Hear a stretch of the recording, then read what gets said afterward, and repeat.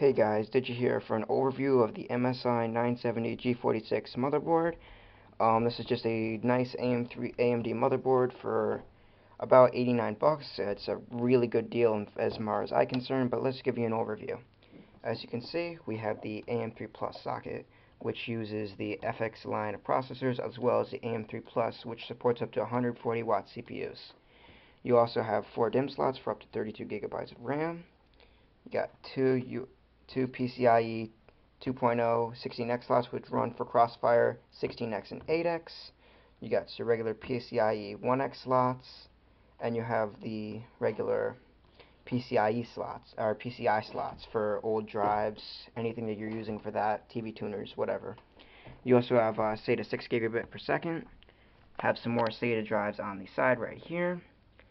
As you can see, there's a couple different features that this board supports, as well as unlocking CPU cores, lossless HD audio, and automatic overclocking, which is really cool for a board at this price. Let's take a look at the side. As you can see, there is a optical out, an SPDIF, combo mice, and you have a COM port, six USB 2.0 ports, two USB 3, a gigabit LAN, and your 7.1 channel audio for if you're doing a home theater PC setup. There also is some front USB headers. There is no front USB 3.0 headers. There is two, but not many people are using 3.0 anyway, so it's not that much of a loss if you are using it. As you can see, there is one, two, three, four, four, uh, three USB front headers.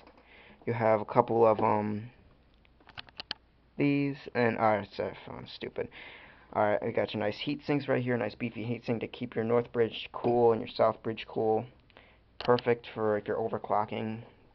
And um, this is pretty much it. This is the overview of the 970 uh, G46 motherboard from MSI. I do recommend this board.